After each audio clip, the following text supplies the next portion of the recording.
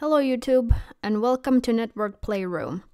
Now in this video we're gonna look at the OSPF packet type number 4 or the link state update message.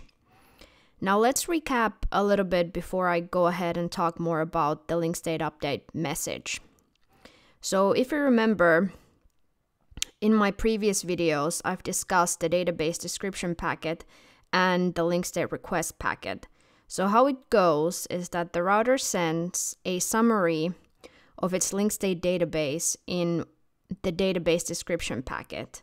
And then the neighbor router can request the missing or more recent LSAs in a link state request uh, packet. So the link state update message, which we're going to look at now, is sent in response to that link state request packet. And as you can see on the screen here, on this diagram again from the TCP IP guide, the packet is really not that complicated. There are essentially just two fields that we're going to look at now. So first, the number of link state advertisements. That really says it all. So it is just the number of LSAs included in this packet. And next up here is the actual link state advertisement. And notice here that it says number one all the way to number n.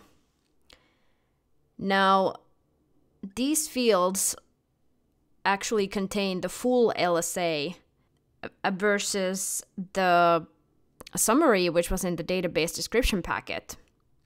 And each um, LSA, sorry, each link state request packet can carry multiple LSAs up to the maximum packet size of the link. I don't want to discuss a lot about the LSAs because we're going to do that at another time but you'll see once we get to the same packet capture that we've looked at before, and if you remember from the previous video, in the link state request message, R3 was requesting two LS LSAs from R1. So what we're gonna see in in these fields is uh, type number one LSA, which is the router LSA, and then type number two LSA, which is of course the network LSA.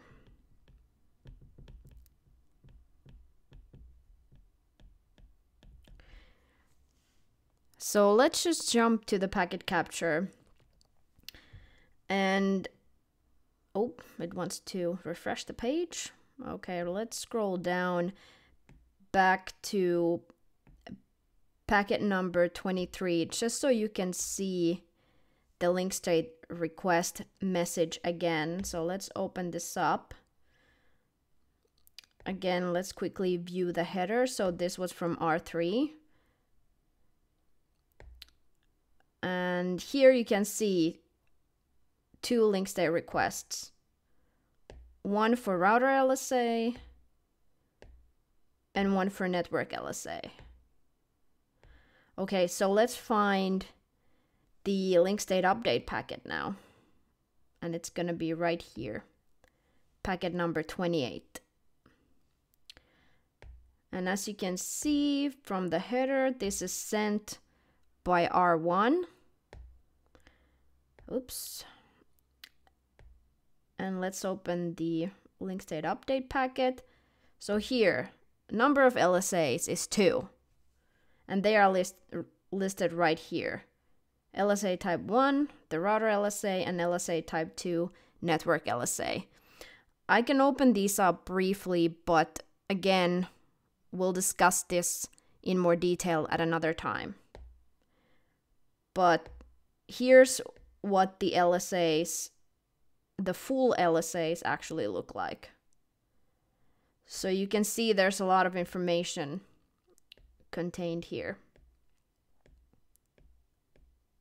But that's really it for the link state update message. I thank you again for watching and I'll see you in the next video.